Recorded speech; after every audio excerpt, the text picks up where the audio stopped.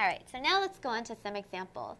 Example one is just the example we've been using uh, to talk about how to find, uh, how to set up your data and how to find um, expected values.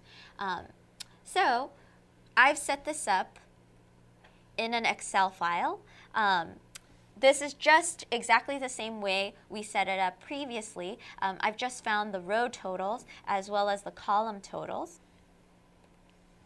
And now I could start on my hypothesis testing. So first things first, uh, step one, our null hypothesis should say something like this, that um, the proportions of uh, satisfied and unsatisfied uh, people, I guess, adults, uh, for Democrats should be the same as for Republicans.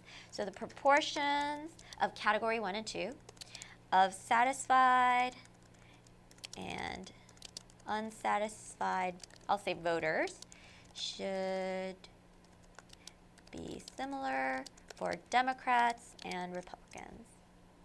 So the alternative hypothesis is that at least one of those proportions will be different between Democrats and Republicans. All right, Step two. Step two, we'll uh, just set our alpha to be 0.05. And we know that because we're doing chi-square uh, hypothesis testing, it's one-tailed.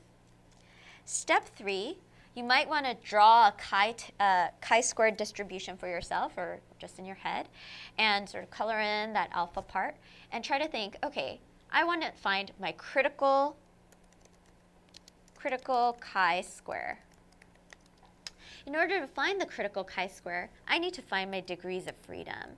And my degrees of freedom is going to be made up of the degrees of freedom for, for category, as well as the degree of freedom for population, right? There's two, popu uh, there's two populations, so it's 2 minus 1. And you could also see that as the co columns, two columns minus 1. You don't count these total columns. Those aren't, those aren't real columns. Um, nor do you count this total row. And the degrees of freedom for number of categories is we have two categories, satisfied and unsatisfied, minus one, right? And um, there, that corresponds perfectly to number of rows, minus one. And so the degrees of freedom here is going to be the this times this, right? So degrees of freedom for category times degrees of freedom for population. And that's just one. So what's our critical chi-square? Well, that's going to be found by chi-inv. We put in our probability as well as our degrees of freedom. And we find uh, 3.84 is our chi-square, critical chi-square. So we're looking for uh, sample uh. Mm, samples that represent populations, uh, sample chi-squares that are larger than, uh, than 3.84. So step four looks something like this. So in order to find our sample chi-square, what we need to do first is find our expected values. So here we have observed frequency, right?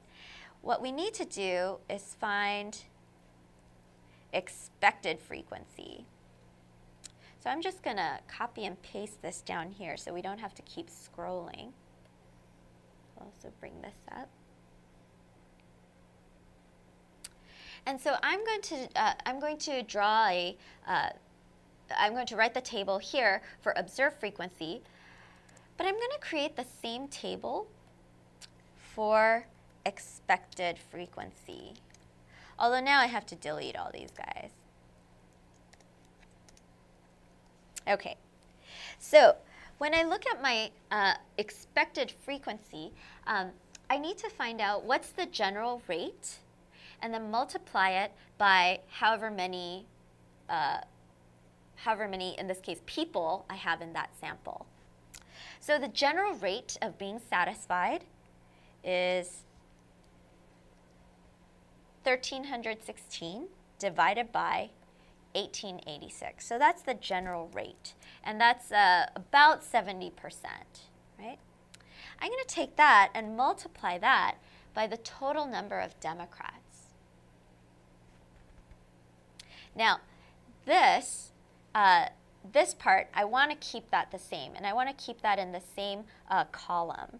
So I'm going to put a, a, a dollar sign in front of the D to lock down that column. And here I'm going to put a dollar sign in front of both the D and the 21 in order to lock down this actual cell. Because here's what I'm going to do. I'm going to actually copy and paste that over here. And if I look at this, then what I'm doing is I have this uh, same rate, again, the rate of being satisfied, but now it's multiplied by the number of total Republicans. And then I'm going to take that cell, copy and paste it down here. And here I see that now I have the rate of being uh, unsatisfied. And I need to change this to that. And here I have the rate of being unsatisfied, and I'm going to multiply it by total number of Republicans.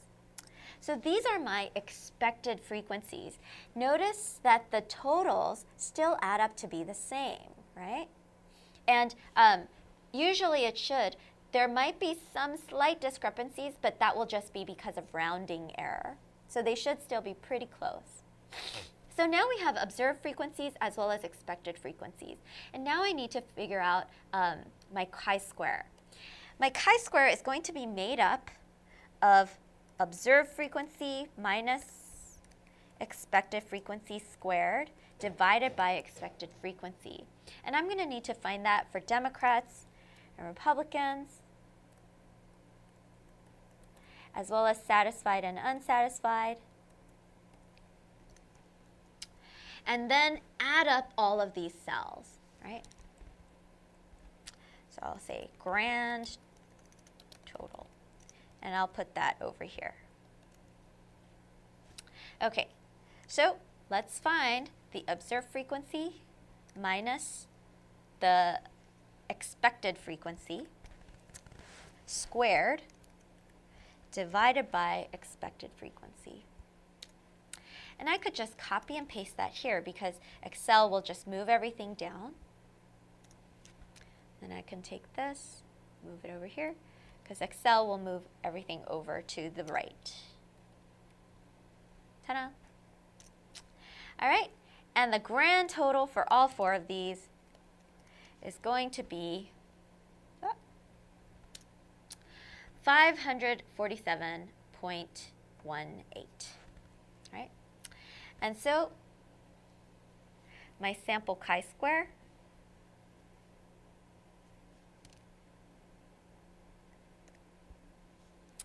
is quite large.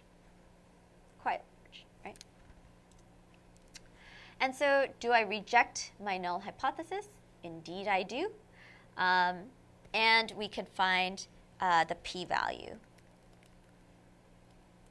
So here, I'll put